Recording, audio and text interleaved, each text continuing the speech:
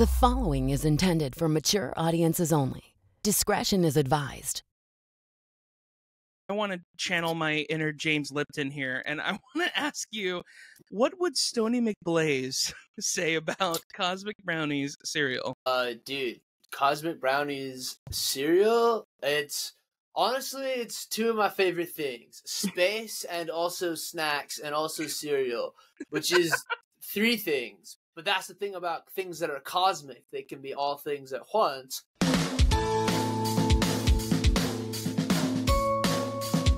What's up, besties? Welcome back to a brand new episode of Childlike at Best with Mike Valdes. And guess what, man?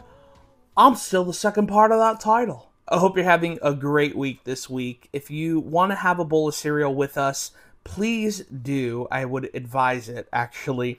Um, the cereal that we have on this episode is Little Debbie's Cosmic Brownie cereal. Now, I'm not sure if that cereal is still in existence. However, uh, there are many cereals uh, that are very, very good. And in fact, if you want to have your own favorite cereal, that's totally fine too. Uh, or have your favorite snack. Look, I don't discriminate here on this podcast. You can eat or not eat whatever it is that you want. However, if you're a cereal fan, I would like to tell you that if you were to go to my website right now, thekidfromup.com, that is my real website until Disney sues me. If you go to thekidfromup.com right now, there is a new tab that says my favorite cereals. And on that tab, it'll take you to Amazon where some of my favorite cereals will be there. Now, you can get some cereal if you want. You could also do some grocery shopping. You can do all of that while supporting the show at the same time. So, why not do something you were already going to do in the first place, but also support your favorite live action cartoon character? Uh, I'm so excited about today's episode. Uh, today's guest is Austin Kress. Austin Kress is a very funny stand up comedian. You may know him as his character that he plays on Instagram or TikTok called Stoney McBlaze. Uh, it's a very popular character that went viral over the pandemic. And we talk a lot about that uh, on this episode. In fact, we talk about his childhood, of course, but we also talk about his stand-up comedy and how he got into that and also how the Stoney McBlaze character was created. This episode is such a fun one and I really think that you guys are going to love it. So, without further ado, please enjoy my conversation with Austin Kress. And one of the funniest things that I saw, the first article that I saw about you was Austin Kress is funnier than his character. Is is much funnier than his Stoney McBlaze character, yeah. Right. Which I find so interesting because yeah. like I mean I guess I guess in a weird way, what brought that character about? What brought about Stoney McBlaze? Well, first of all, the internet would disagree that really? Austin Kress is funnier than Stoney McBlaze. Stoney McBlaze has had far more success sure. than Austin Kress has. Uh, but that was that was a great article because I mean, a it's nice to to have any sort of recognition for my stand up. I'll take it. In press, yeah. somebody wrote down that I'm funny in a public forum. Let's go. Yeah, great.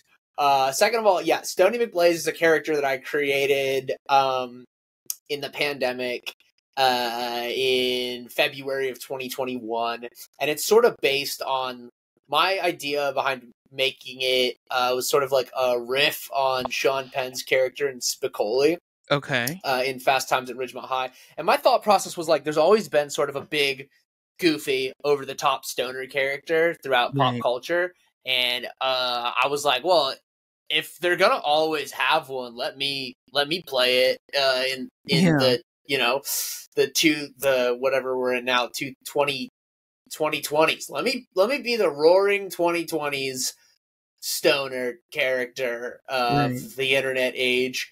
And um so that was sort of my thought process. And I had been really studying comedy at uh, the Groundlings Theater here in Los Angeles, and okay. it's it's where like Will Ferrell went there and Kristen Wiig and Melissa McCarthy and a lot of people. And so it's these big like point of view based characters. Mm-hmm. And um, I'd seen some other you know stoner characters online, and they were all like sort of like surfer stoner characters. And they were all kind of like smaller, uh, more like plot driven char- type characters. Right. And so I really had a blast just creating like this this POV of this dude who just like loves to smoke and loves to shred and then like gets online and is like reacting to it.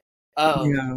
and reacting to ended up reacting to a lot of other stuff too. So it came from pandemic boredom, uh learning how to use TikTok. Uh my girlfriend's like really smart with social media, so it came Right. from her advice and then uh the types of characters I'd sort of been like playing with and, and getting cast in because I, I was working on acting in Los Yeah. Angeles. Sure. Um, so it's, it's sort of the types of characters that it, it was like sort of the, the it's a character I kind of look like, and I like Mm. to say it's sort of like the highest version of myself. Um, yeah. so it's it's uh not too much of a stretch for me to to be that guy.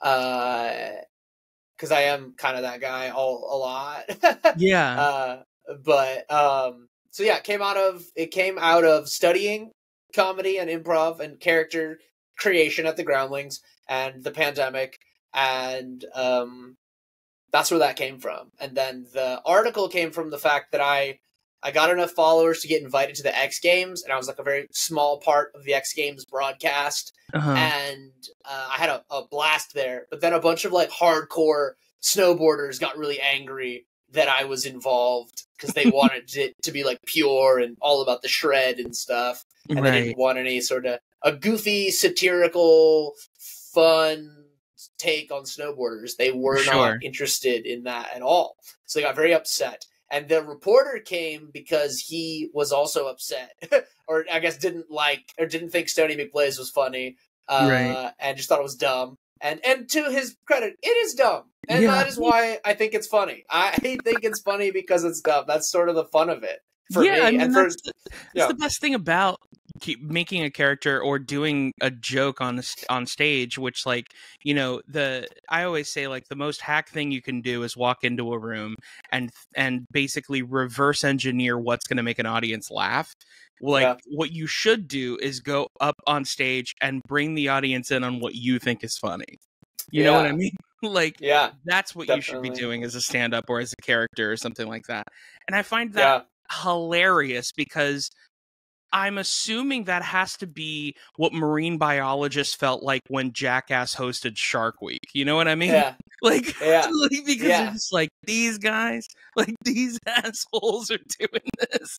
You know, like yep, um but yeah, like I mean that's honestly that's a that's an amazing story and what's so cool about that is like you know yeah we all like sometimes we find you know and especially nowadays like we are basically you know we we are kind of pigeonholed into these characters or these personas but it kind of allows us to branch out and show people hey i'm more than this you know and and things like that which is really super interesting because you know yeah like a lot of people wouldn't necessarily know like oh wow like he's actually a stand up and oh wow he's actually good and oh wow like he's actually a person with human feelings and wow he's actually a person Yeah. you know like things like that like it's it's yeah, yeah it's a it's a wild it's a wild thing because like at the end of the day it's no different than like steve carell's just a guy you know what i mean like he's not Yeah. michael scott like he's just No, a yeah. guy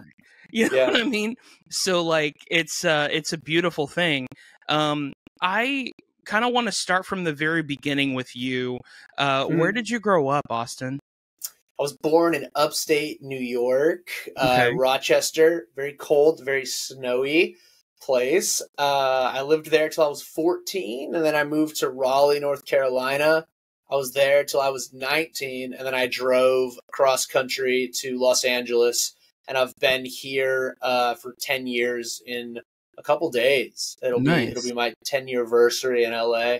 that's Um, insane yeah so so sort of a little bit of all over the place i don't i don't necessarily feel like i'm from either of those places even though quite literally i am but yeah emotionally i feel like i'm from the valley in los Yeah. angeles i feel like i, I found uh, myself and i've grown up more here and i've changed so much because like you know raised super christian super homeschooled and so Mhm. it was a real process of uh unlearning a lot of my childhood and becoming a, a person the person who I am today and so it was um I feel more defined by my time in Los Angeles than I do by my time in in Raleigh or in uh in upstate New York. So but yeah, that's where I was born and raised.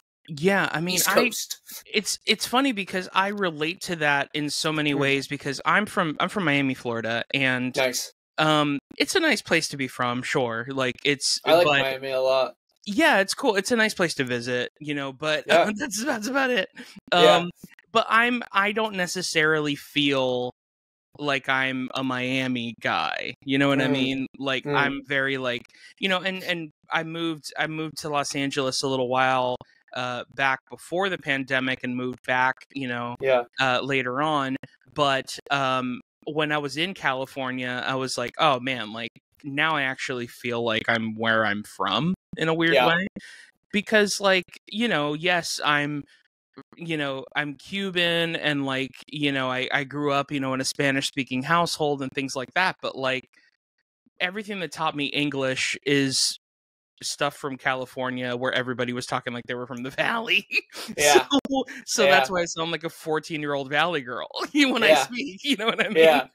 so like it's yeah but but that's that's always how i felt and it's so it's so interesting man like you know you were saying you were homeschooled because that kind Yeah. of negates my next question which was what kind of a kid were you uh at school Well, I went. Which- Oh, that that was also I. I talk about that in my stand up a little bit, which is I sure. actually was. I went to all kinds of schools. So Okay, cool. I was I was homeschooled from first through fifth grade. okay Sixth grade and seventh grade, I went to a private Christian school in upstate New York. hmm Eighth grade, I went to middle school in upstate New York.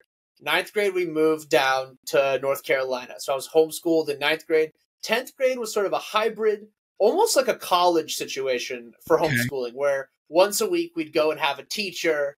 Uh, and again, air quotes on teacher. Uh, Sure. somebody's mom yeah uh, would teach a group of like six of us, and then uh, we would get homework for a week, and then do all of it, and then come back. So it was very much like kind of a college situation. And then eleventh grade, back to public public high school, and then I, I graduated half a year early because of because of credits in homeschooling. But basically, a year and a half was um, public school yeah uh, uh, in North Carolina. So I kind of did all three types of school.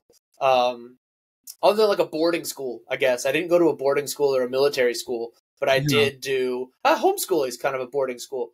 Oh, okay. Uh, you live and study in the same place. But uh, so yeah, uh, the kind of kid I was though was a strange kind of kid. I was a weird, weird kid.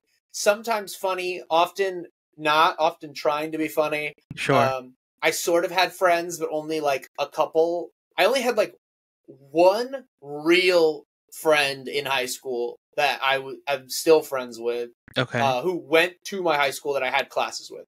And then I have another friend from my sort of high school time, um, but we never actually went to school together. And then that's it as far as like, so I was a weird outcast sort of kid, because not like a true outcast, not like bu- bullied in Christian school for sure yeah because I was so much poorer than all the other kids that went Mm. to Christian school. Um, So 'cause weird. It's expensive. It's expensive to go to Christian school, it is yeah um, and so my parents, I guess, were barely able to afford it. Um, I'm probably still paying for it in some Mhm. some sense. Uh, and so I was yeah weird, kind of made fun of. Uh, I I all of my clothes were from Goodwill, like a Mhm. decade before that was cool. Um, that it just sucked back then. And no American Eagle or Abercrombie and Fitch Yeah.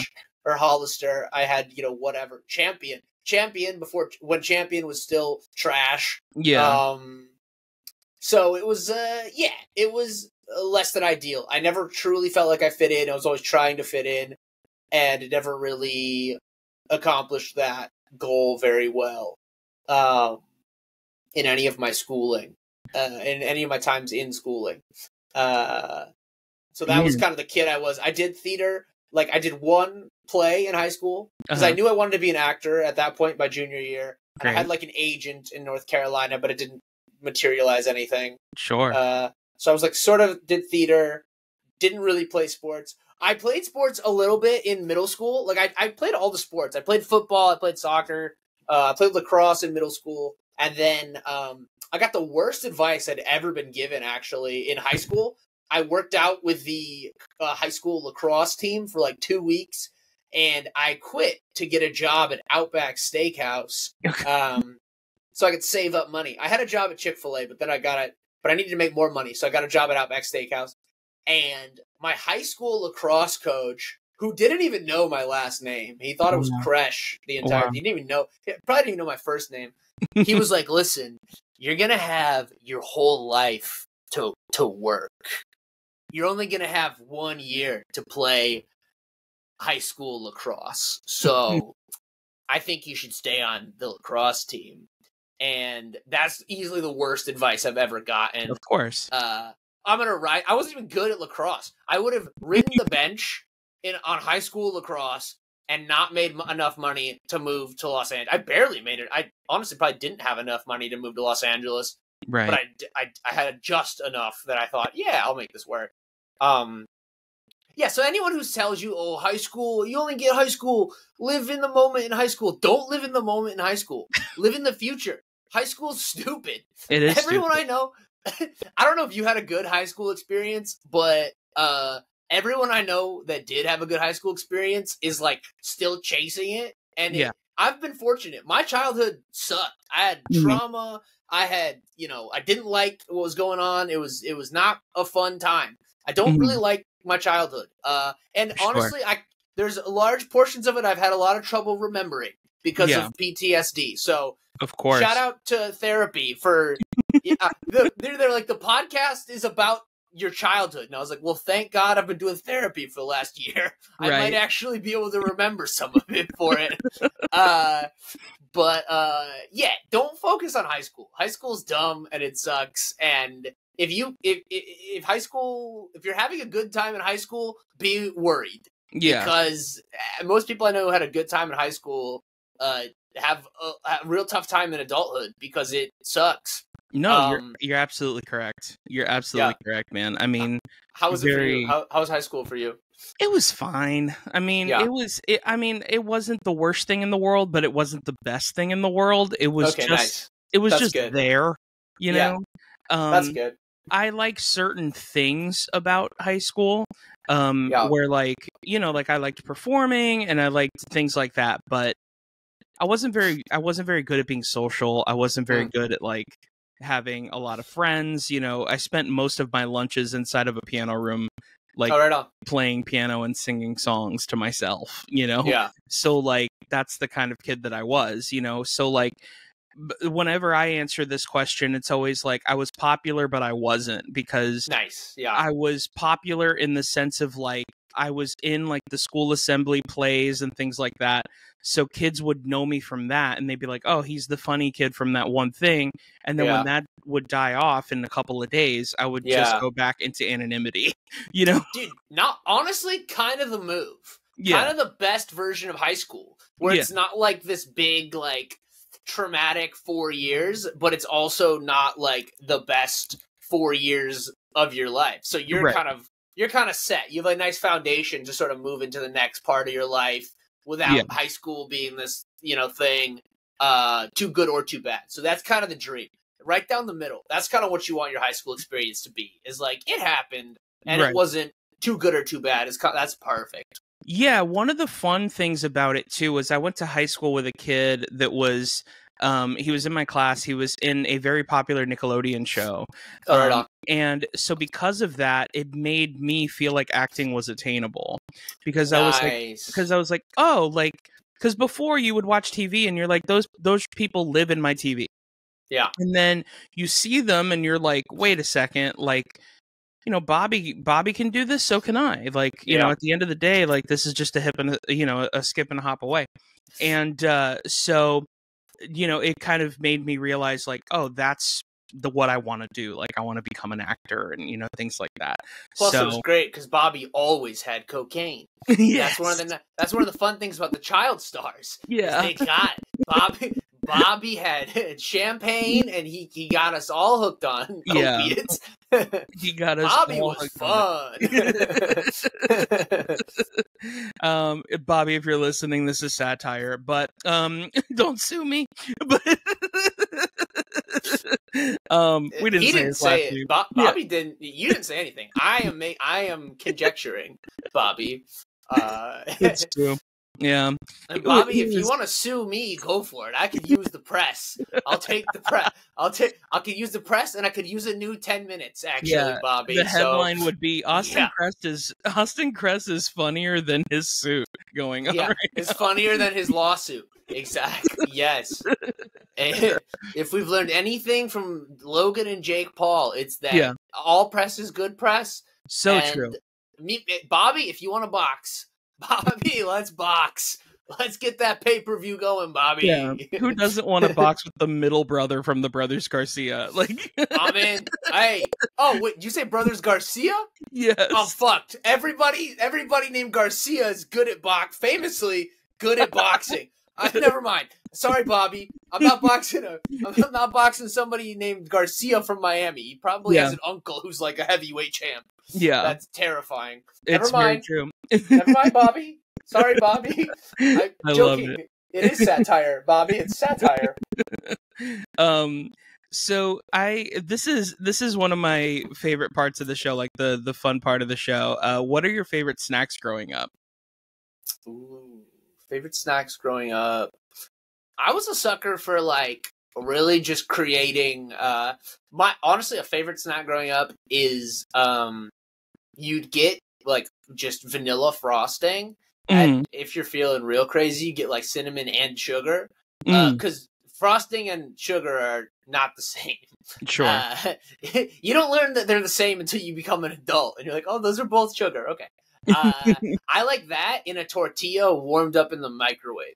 okay So it kind of melts and you get this sort of like uh like almost like a toaster strudel situation going Wow. on. Um really good. Tortilla and and frosting in the microwave with uh cinnamon and sugar is uh that's a that's a clutch one. Uh what else did I like growing up? That was good. Um I mean it's so simple and so obvious, but like Yeah. apples and peanut butter is great. Sure. Yeah. Uh, um, I'm trying to think if I have any other real specific snacks. Uh, my mom was always like making cookies. Those are Mhm. she like legit could make a le- like a really good cookie. So I like anything my mom would make. Um, dude, what? Oh, the little um. The little uh it's like you got it's the little plastic container and there's cheese right here and then you have the little pretzel uh, no they're not even pretzels they're just handy like little snacks huh handy snacks yeah yeah Yes. With Those are great. that you would probably you would swallow by accident Yeah, the little yes, the little breadstick. Yeah. The little breadstick uh with the cheese was awesome. Um I think those are kind of the favorites. Those, those are the ones that come up first as like real standout snacks for sure. We like to talk about cereal on this podcast as well. Yeah. Um, what were your favorite cereals growing up? Um, favorites growing up and still favorites. I, I love Yeah. Fruity Pebbles. Fruity Pebbles is like top for me. Uh, uh, that's a great one. Um, what else? That's my top cereal. Fruity Hell yeah. Pebbles is, is it, I mean, it's up there. I also like Honey Bunches of Oats. I like. I like. A, Sure. I like a cereal that you can get to that perfect texture. Yes. Like, you know, uh, some cereals, and people laugh, but some cereals are too sharp. Yeah. Like, for instance, uh, uh, Captain Crunch, right? Great Mhm. idea, great concept. Always kind of cut up the roof of my mouth. yes. And, and, and I feel like it didn't have a good half life. Like, I felt like Captain Crunch was either too sharp or too soggy and didn't have a good middle. Yeah. And I think, like, Fruity Pebbles has, like, a great middle uh, where it's, like, the right texture. Uh, same with same with like honey bunches of oats and honey bunches of oats. You feel healthy eating it. Yeah, if but you don't read any not. of the no, no, no. But Yeah. if you don't read any of the info, if you don't Yeah. look at it, it feels almost like a granola. Um, sure. So yeah, I love it. I love a cereal that'll get to that perfect that perfect texture for me. I love uh, it. Yeah. Uh, let's see. Oh, one of the best things I found out recently. at Target they sell the uh, Lucky Charms marshmallows just in a bag by themselves. Oh yeah. And Lucky Charms is like was is kind of that cereal that was like it sucked because the actual cereal is so bad. Oh Like, yeah. The Lucky Charms cereal is like dog food. And but the but the the marshmallows are great. So I took those recently and I put that I put the marshmallows from Lucky Charms in a I found like Trix minis. Like they're Okay. they're the, like the Trix, but they're smaller. And yeah. that was like a really good base Hell yeah. for it. I love Um, that. So that's like a little hack if you can. I don't know if they sell them at every Target or just so, I don't know, but if you can find it, that's a Yeah. great one. Definitely recreate that cereal because it's really great. That's Um, a good one. So every episode of this podcast, I like to review a box of cereal with my guest, and Okay. usually I like to get a cereal that has something to do with my guest in some way, shape, or form. So I got uh, I spoke with my sponsors over at Kellogg's, and Okay. uh, by sponsor I mean that I like them, and uh, by spoke to I mean that I DM them and they blocked me. Uh, future so future sponsor. yeah, Future exactly. sponsor Kellogg's. Yeah, so uh, the cereal that I chose for you, let me see here as I hold my microphone and my laptop at the same time. As you do this, I'll give a little background. What's funny about you choosing Kellogg's? Ooh, Cosmo! I didn't even know this was a, a cereal. Yes. This is great. Oh, wow! So I- chose Yeah. I chose Cosmic Brownies cereal. Goodness gracious. Wow! difficult to do. There we go. No, There's a that's great. Oh, I didn't know this was a. I didn't know this was a thing. Yeah. I mean, the cos the cosmic brownies. I I did forget. I forgot about those. Uh, that was an insane. That's a Dude, great Clutch snack. move is to just get the Cosmic Brownies, put them in a Yeah. bowl, put milk in yeah, it. I I think mean- you're fine. I think if you you can just chop them up even if you wanted to. That's a great. Yeah. That's an I mean, it's better one. than the cereal. I will say that because the cereal Yeah. is kind of mid, to be completely honest. Okay. Sorry, okay. Well, there, there goes Uh, that sponsorship. Oops. um, but anyway, wow. What a good. I. What a good. Uh. A good thought though. What a great thought. It is a great thought. Yeah. I mean, granted, every Little Debbie thing Yeah. could oh, does could work. You when you think about it, like oatmeal cream pie, which is actually a cereal, um, Nutty Buddy, which is actually a cereal that I have here too.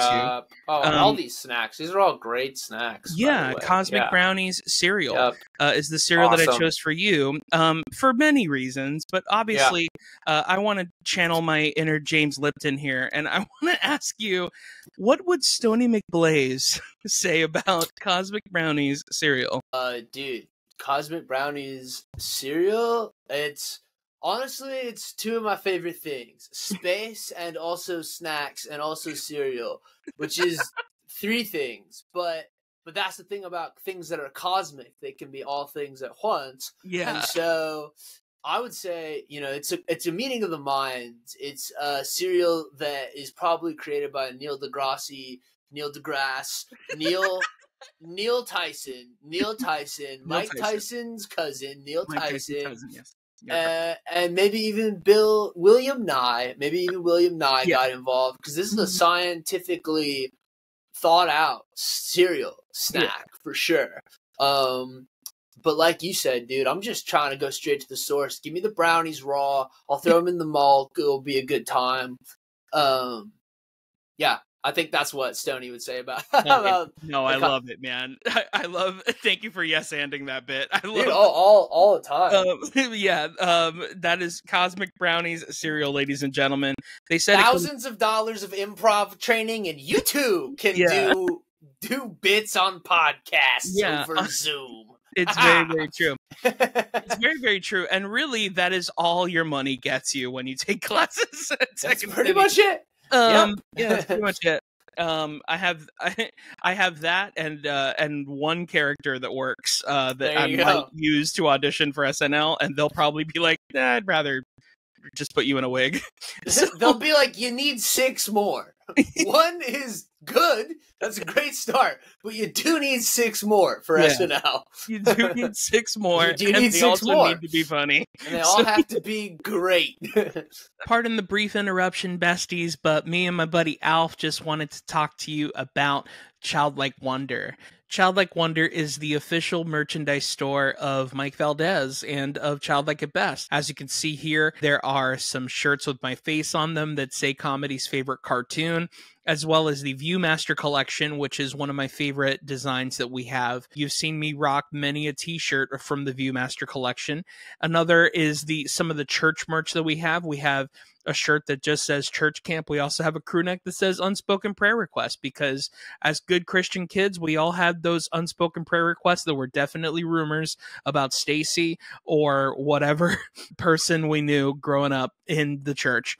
I'm so excited about this collection and I'm so excited to release it to all of the besties. So if you want to support the show or support me in any way, please just go to childlikewonder.co and grab yourself a tee or a crew neck and tag me on Instagram. I'll repost you. I'm super excited for you guys to get into this. So thank you guys for supporting and thank you guys for being so incredibly amazing. This episode is also brought to you and will always be brought to you by our good friends over at the Crunch Cup.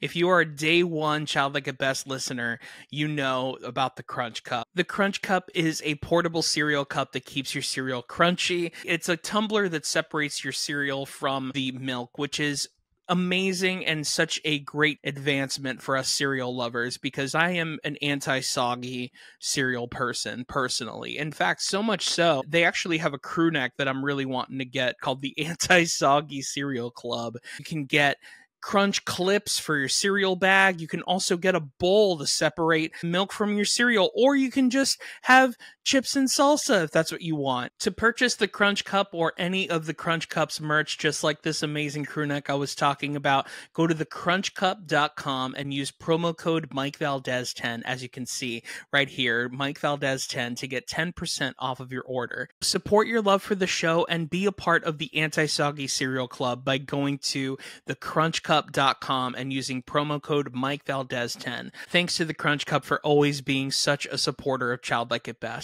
Now back to the show. When did you start doing stand up comedy? In the pandemic, also. Okay, yeah, I cool. started. Uh, my girlfriend started doing it. She was taking a lot of classes on Zoom, and then whenever things started kind of like opening back up a little, a little bit, we started doing open mics together. And then Oh, uh. I started and quit like beautiful three love different story. times. It is a good one. Yeah, That's it's- that's a it's Taylor great Swift song waiting waiting to happen. Yes, yes. yeah, she. I write punchlines. She. She writes setups. She Together writes- we are basically the Gaffigans. There you go. Yeah, yeah. Deep cut. Jim Gaffigan doesn't write any of his material. It's all Nope. his wife. It's all his wife. uh, wasn't nice of him to say. yeah, that was Jim. Jim. Yeah. Jim's great. Jim's very Yeah, he funny. Jim's very funny. Yeah, Uh, yeah, we man. have to say that we're contractually obligated, but Yeah, um, we do. That is yeah. True. I do think, for the record, Jim Gaffigan is incredibly funny. Of So let course. that, let that kidding? state. Jim Gaffigan is funny, and your friend Bobby is hooked on pills. for the record. I For mean, the record. you're not wrong about either of those statements. um, Um, but yeah. yeah, during the pandemic. I started during the pandemic. Uh, and I've completely changed uh, again my whole personality. I'm now uh, focused on stand up, and Sure. acting is uh, not even in my purview. Um, but to be fair, I do act kind of every day with the Stoney character, course, so. I I uh, I do get that kind of thing. But yeah, it changed. I, I was so passionate when I moved to Los Angeles about acting. I was so serious to like too serious, like douchey serious about it. Mhm. Um, and now I've kind of uh, transitioned into like the idea of wanting to act in things that I'm only really right for. So not, I don't want to do a ton of acting if that makes sense. Like I want to. I don't want to stretch myself as an actor. I want to do things that are within arm's reach of me, uh, comedically and uh, yes, and something you learn living in Los Angeles. Uh, there's not a ton of great actors in Los Yeah. Angeles. So if if someone is an asshole or a pedophile on TV, they're an asshole and a pedophile in real life. oh yeah, They're just sort of turning it up by 10%. And I am a, a goofy stoner in real life. And so if you see me playing a goofy stoner, it's because that's me. I'm just turning it up a little bit or down Yeah. a little bit for the project. And that's, so I just kind of want to do that sort of work. you're absolutely right, man. I mean, it's difficult because you know, I and and I don't want to put thoughts in your brain or words in your mouth, but when I went to Los Angeles uh, to be to be an actor and like and look, I'm still an actor, I'm still a working actor and all these different things, but I kind of in a, in a lot of ways feel like comedy found me because um, I never wanted to be a stand up comedian because I respected it so much. You know, Yeah. it was something where I was just like, I could never be as funny as, you know, Jim Gaffigan. I could never be as funny as Dave Chappelle. I could never be as funny as Chris Rock or whatever. Yeah, And, and that's true. But Yeah, it is when you true. go to an open mic, you realize that oh, I can be funnier than that guy at this open mic. yes. And you also learn that that Jim Gaffigan, Chris Rock, those are like the top one percent of stand-ups. So Yes. I've sort of realized like for me, stand-up is like uh I don't watch a ton of sports, but I think the NFL is like a pretty good comparison as far as like there are the NFL players that we all know. There's Tom Mhm. Brady, Randy Moss, Rob Gronkowski. I'm only naming Patriots players, but there there are all these great there's these great guys and everyone knows their name and they have all the sponsorships. Um uh, the dude from the Chiefs, Patrick Mahomes. yeah. Th- th- those are the top 1% of football players. But there's 90% of football players that are in the NFL that make a million dollars plus a year. We don't know their names. They're great. They're still incredible football players. Mhm. Um, and I kind of am hoping to do that with stand up, just sort of find my place in the industry where I'm making a living and supporting myself and Yeah. I don't have to have roommates anymore. Yeah. And uh and then that's fine, you know? And so There's- you don't yeah. There's also the third person that you that I would say as well, which is uh, the football player that comes to your Thanksgiving dinner who said they could have gone pro had they not broken their ACL. Yeah, and that's every family member pitching you jokes. That's Yeah. every family member who's like, "Oh, you know, be a funny joke." yeah. you know, one time I got my car towed after uh, a night of drinking at the bar. Can you do anything with that? I'm like, no, I can't actually. it's uh, funny when you do it, but It's funny when you not do it. it's not funny. But can't. That's not. no, I, I literally. I literally meant to me. It's funny when you Austin do it, but it's not funny when my Yeah. member, my family member does it. Uh, yeah, exactly. It's it's not. I had a coworker one time, and I've talked about it so much it might become a bit because it's so crazy. I was doing. He's like, "Oh, you do stand up? That's awesome." He's like, "You should do a joke about karma." And I was like, "Oh, okay, right on." Mhm. Like, in what sense? And he's like, "Well, just sort of the concept of." Co- oh, okay, just the whole concept of karma, just the entire philosophical uh, discipline of karma. That Yeah, do Just that as the a whole joke. thing books have been written about because Sure. nobody truly understands it. Entire read a bit religions about it. are based around this. Let me work on that bit for you. Let me distill that down to a poignant five. Yeah, I that's insane. it's funny it you know that it, it that itself is the cosmic brownie cereal of pitch ideas because Literally, yeah. because on paper it sounded great and then the explanation made me realize oh this is worse than i thought No, this is impossible to be as good as that's gonna make stand up and karma worse. That's not gonna it's not gonna help us, dude. That's Yes. insane. So that's the yeah, that, exactly. So to your point, everyone thinks and every time you tell someone that you do stand up, you do always get that. Um and, Oh and thankfully it's it's happening less and less. But like when you first start doing stand up and you invite your friends to your first like three stand up shows, they're all like, "Oh, you know, I've been meaning to do. I've been. I should try Mhm. it." And um, and and you're like, "Yeah, yeah, yeah." And then thankfully that's kind of gone away. And I think it's because you, it does seem pretty attainable your first couple shows because your stuff isn't that good. The whole Yeah. lineup isn't that good. And so all your friends are like, "Oh, I can do it." And then all of a sudden you start getting better, and your friends are like, "Ah, shit."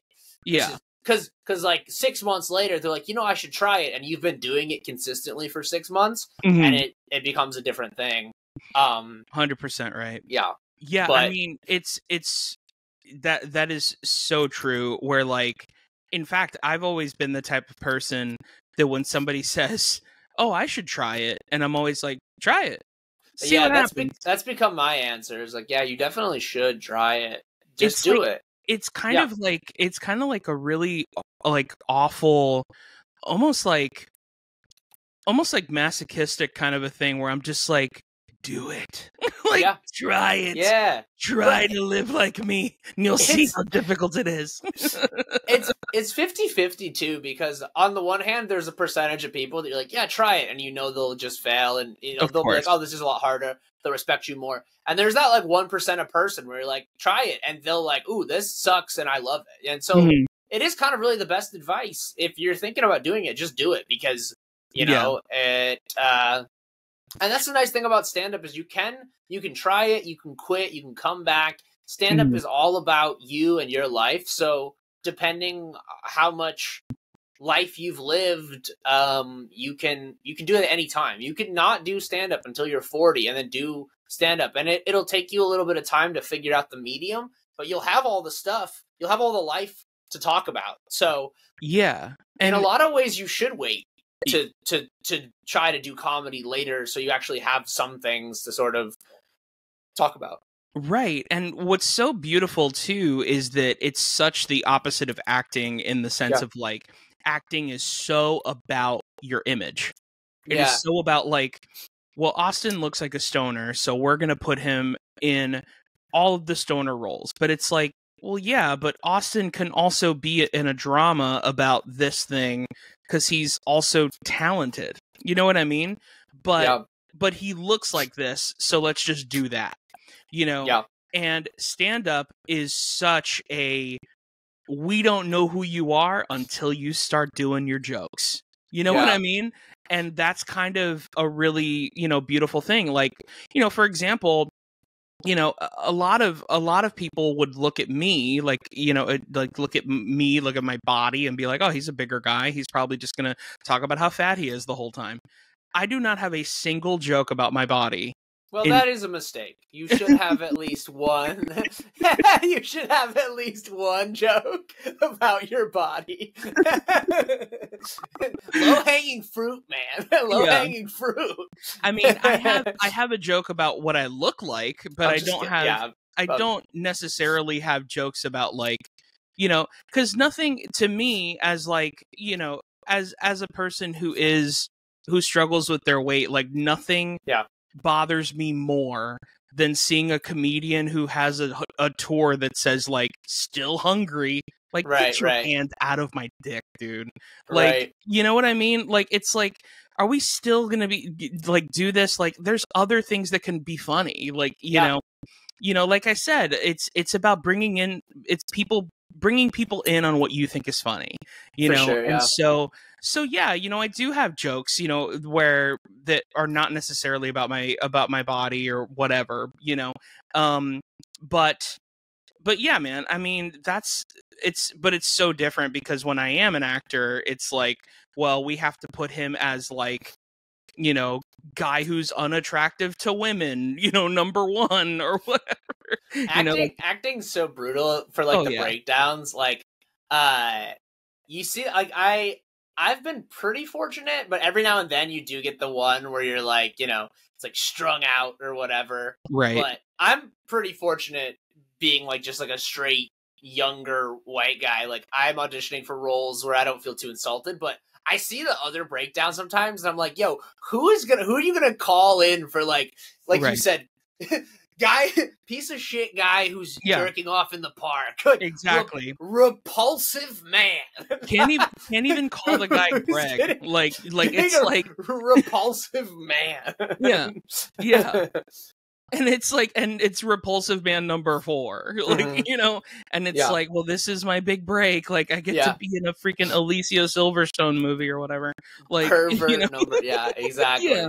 and Yeah. it's so stupid like but but that's unfortunate but that's the beauty of comedy is that you can you can be like no man like screw that noise i Yep. have something that i love that i'm good at where i make good money doing it Yeah. eh, or could make good money doing it and i'm just me all the time Yeah. as opposed to like and and even then like there are stand-ups who are getting into acting like gaffigan which we've been talking about quite a bit and Yeah. people are giving him a chance because guess what he has range right Yeah.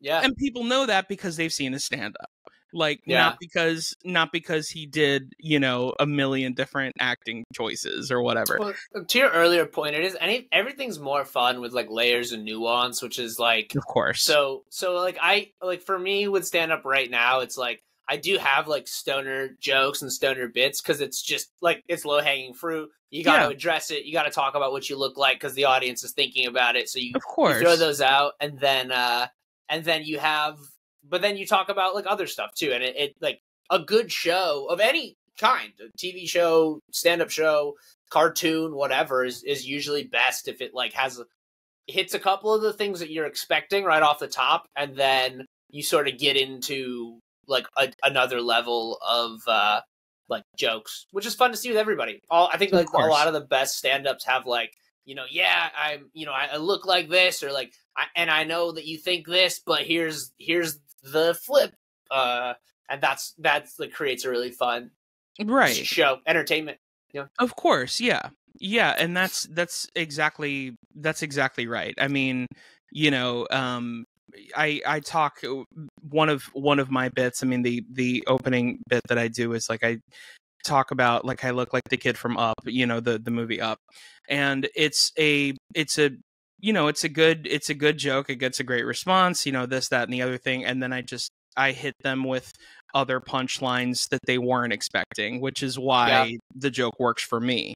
You know, um, so because some of my favorite things to do is like kind of make the audience feel like they know where I'm going with something, yeah, and then I'm not going that way. You know what yeah, I mean? yeah, like being like I have like for example, not to like not to like do stand up for you, but like it, like there's a joke that I have where I say, um, I'm not gay, I'm a Christian, but to be fair, they're kind of the same thing.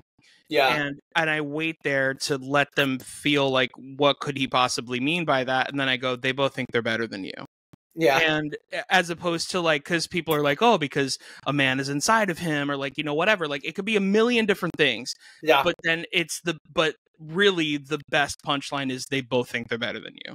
You know what i mean? Yeah. and like and so um so yeah i mean that's that's like and that's comedy baby like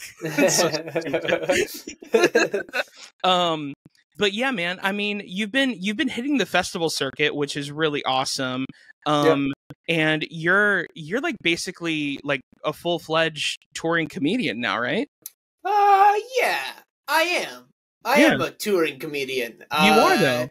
I would say it's like the first. It's the beginnings. It's the very. Sure. I I did my first tour with my buddies Leonard Smith Jr. and Ray Lau. Mhm. Uh, we did like kind of a West Coast tour, and we're doing more stuff on the East Coast and sort of the Southwest as well. But it's sort of it's very like self produced and like kind of a DIY tour. sure Um, so I am in the beginning stages of uh, the only thing that will change is frequency and size of venues is Mhm. is kind of the thing we're trying to increase right of now. course Um, but yeah, I am I am I'm touring. Yeah, that's Dude, correct. I, I love Yeah. it, man. I mean, you're but you're but you're killing it, and I love how uh, you guys are coming to the East Coast pretty soon, right? Or you're wanting Yeah. to at least. Yeah, no, no. September 21st, we're in uh, Morris Plains, New Jersey. 22nd, Brooklyn, New York. 23rd, Brooklyn, New York again. Mhm. Um, and then, uh, yeah, Phoenix, November 4th. Albuquerque, November 7th. And uh, link is all links in my bio for those. yeah, all the links, all the links, If and you all. have any fans in San Diego this Sunday, San Yeah. Diego, plenty of, I mean, very few tickets left.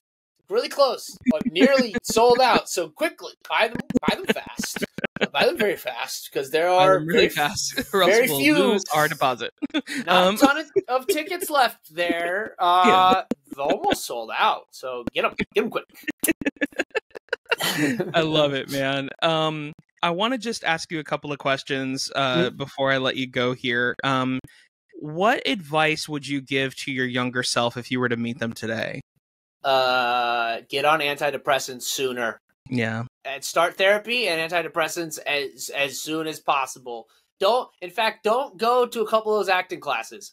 Go to Okay. go to one of those months, two of those months. Don't even go to acting class. Take that money and spend it on therapy. Mhm. Uh, that and then perfect. My like mantra that I've had for a while, I keep coming back to. I don't know who said it. Shout out to whoever said it first, but perfect is the enemy of good is Mhm. like the best advice. Just just make stuff. It's so dumb because everyone says it, but like just make stuff and like it's just gonna suck. Uh, it's gonna suck so much. Uh, Yeah. the product and the process is all gonna be so dog shit in the beginning, and then Mhm. eventually, just by the act of continuing to create, you'll make something that like you're proud of and other people like. Um, yeah, perfect is the enemy of good. Uh, is a big one that I've been telling myself lately. Um, as I'm, I'm branching out into YouTube and trying to figure out how YouTube works, and it's Yeah. it's a lot of like just just make it, and then slowly it'll get better. Uh, is the biggest biggest one. Um, and also, don't be an actor. Stop trying to be an actor. Do a comedy. Yeah. Do start to start comedy sooner and focus on that. Would probably be my main. I think would be my main advice. Um, yeah, that's Okay. but I mean, it, it's always tough to give advice to your younger self because you're sort of always like, I feel like I made the best the, the best decision I could with the information I had. yeah. Um, and uh, and also my younger self wouldn't listen to me probably. yeah. Uh, that's kind of the biggest problem. But yeah, I think the easiest and like best advice is like actually go to therapy a lot sooner. Mhm. I would say is probably the best advice. you know so you're saying you're saying that your younger self wouldn't wouldn't listen to you but Yeah. this is my next question which like and i and i actually completely relate to you in that if my younger self met me today my younger self would not listen to me either um but what do you think they would think of you like what would like would they think that you're a cool person would they respect you would they find would they would they think you're weird like what would they think about you Uh, yeah, I think they would respect me. I think they would Yeah. be like really shocked at the amount of social media that I do because Sure. of how much shit I talked about social media for Mhm. my entire life. Um, I I've always talked shit about social media and influencers, and then in, and there's my joke about karma as I became one. uh, that's the karmic. That's the great karmic joke, is I Yeah. just constantly talk shit, and then uh, I became a social media person, and I guess, and by by definition, I guess an influencer. Um, unfortunately. Uh, but yeah, I think they would be like, "Oh, that's impressive that you've built something, and impressive that you're still in Los Angeles, and also kind of disappointed because I think my younger self would have thought that I'd be like a famous actor with an Oscar at this Sure. point. Same. Uh, I also I don't think my un- my younger self understood how young 28 is. Yeah. I think that'd probably be the main thing my younger self wouldn't get is like, oh, oh, you're 28, you should have way more figured out, and then you get Mhm. to 28 and you're like, nah, dude, I'm literally just starting. It's so like that's the main thing with younger selves is it's like your your 20s, your 30s, your 40s, and even your 50s is not as old as you think. yeah. Um, your 60s is old. Yeah. In Yeah. your 60s, you're fucking, you're definitely old. But like Mhm. in your uh, 20s, 30s, 40s, 50s, you, it's plenty of time. You're fine as long as you're like on some sort of consistent path where you're getting a little bit better um as much as you can. That is uh yeah, I think that's the main thing. Is like you're you're still young. I would tell my younger self. There's plenty of time. Love it. Plenty of time. yeah. Love it. Um, that's And also, all all your bosses, everyone uh, that you work for at these restaurants, uh, don't matter at all. Be, you So can care way less about your restaurant job. You can care so much less about your restaurant job. yeah. I think. you, you should care more about being on their lacrosse team in Yeah, yeah. You should have played. That's actually the main advice. Play high school lacrosse for a year, Yeah. and that that would have made you Yeah. so much much better person. I'm yeah. sure. Just ride the lacrosse a players are famously good people and have never done anything criminal at Duke Duke University. There's never been any any sort of controversy with an entire lacrosse team before. Oh man, I love it, man. Austin Kress. Um, where can everyone find you online? Uh, let everyone know where they can get tickets, where they can follow you and Stoney McBlaze and all that. Uh, Kress underscore Austin is my personal account. Uh, Stoney McBlaze is my alter ego uh, twin brother. I like to joke, uh, Yeah. which is very awkward when I meet actual twins. I feel like I've stolen twin valor. Um, but yeah, Stoney McBlaze, all platforms, especially YouTube. Trying to grow the YouTube. So tune in to the YouTube. Um, and Stoney McBlaze, Austin Kress, and then in my link tree is is uh, links to all of my shows. As soon as I have a link to a show, I put it in my link tree. Um, mm-hmm. So we we have links for San Diego on Sunday. We have links for uh, New York in September, and hopefully soon we'll have some of those November dates up as well. Yeah, man. Love it, man. Thank you so much for being a part of this podcast. Thank you for really... having me, Mike. That was very fun. Are you kidding me? This was this was such a blast to get to know you and just yeah. to talk comedy with you. Um, real quickly for me, you can follow me at Mike Valdes. You can go to thekidfromup.com to find out uh, all of my dates and my details on where you can, uh, you know, follow me and and the podcast, all that stuff. Uh, also, subscribe. Let your friends know about this podcast uh, so we can grow this family. Other than that, don't lose your sense of childlike wonder. Bye, besties.